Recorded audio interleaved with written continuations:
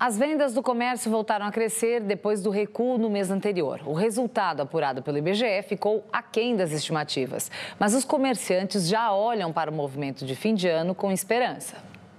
Por aqui, o consumidor anda com a mão um pouquinho mais aberta na hora de comprar. A gente vai economizando, né? Sempre dá, no final do mês sempre dá. É antitranspirante, uh, álcool em gel, né? antisséptico, então várias coisas de higiene, né? Foi exatamente este segmento do comércio de produtos pessoais e domésticos que alavancou as vendas em setembro. A alta foi de apenas meio por cento, bem abaixo das estimativas, mas pelo menos reverteu o tropeço do mês anterior, segundo o IBGE.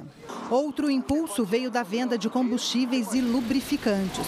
O IBGE salienta que ao longo deste ano as farmácias e drogarias e os supermercados vêm sustentando o varejo. Isso demonstra que a população está concentrando o consumo de itens prioritários.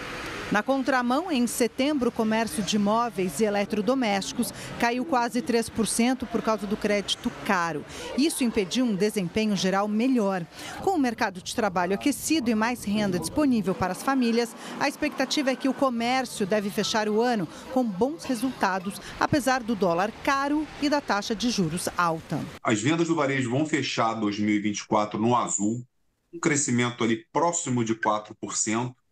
É, o desempenho poderia ser melhor? Poderia. O que, tem atrapalhado o varejo?